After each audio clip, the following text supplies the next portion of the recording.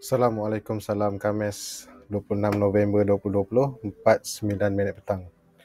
Okey, uh, selain daripada saham yang best in trading view ni, kita ada uh, bukan setakat negara lain, kita ada juga banyak lah nak tengok forex ke, nak tengok komoditi ke, nak tengok apa sajalah. Okey, jadi hari ni, uh, hari ni agak menarik. Uh, cuma beza dia ada dia punya broker eh. macam katalah saya ambil emas dolar ni broker di Wanda. Jadi mas ada lagi X USD uh, XAUSD kan. Dia banyak lagi broker. Uh, ada Bitfinex XAU TUSD uh, banyaklah.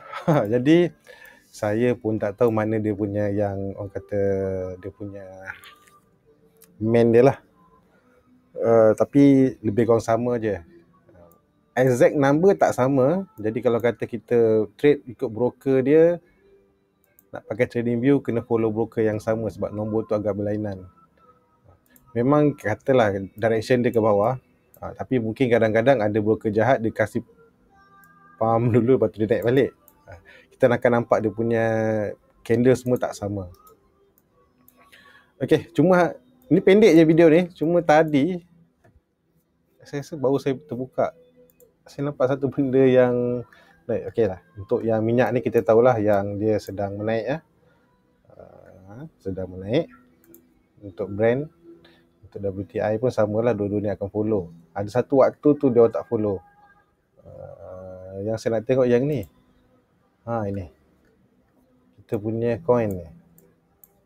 Kenapa tiba-tiba kena sell hari ni baru sesi Asia patutnya dah buka. Rasa ni mungkin Europe dah buka kot pukul 4. Pukul 4 memang selalunya ada orang kata ada pergerakan yang sangat mengejut lah.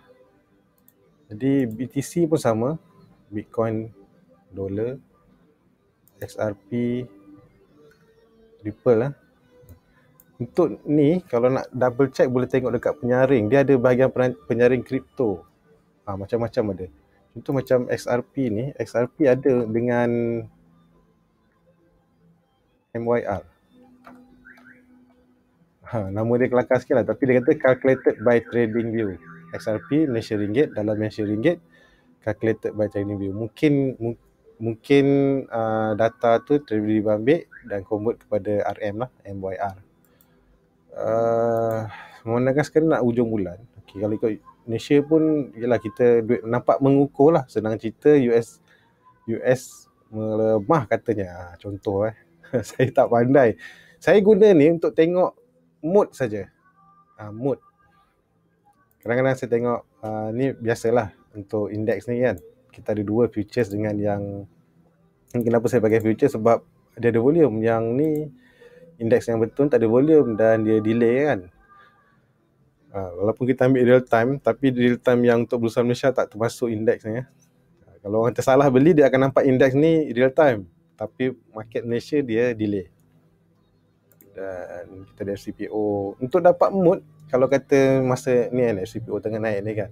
Ha, sepatutnya stok kita Ah, stok. Kita jalan jugalah dari bawah cuma dia last lambat sikit bulan Oktober ke baru jalan. Uh, cuma ni lah saya kita tengok eh. Uh, ni masih lagi belum sesi uh, baru sesi yalah baru lagi. Kita tengok apa jadi. Ataupun ada berita-berita terbaru ke menyebabkan yang dia tiba-tiba uh, itu macam. Okay, Assalamualaikum. Kita jumpa lagi. Bye-bye.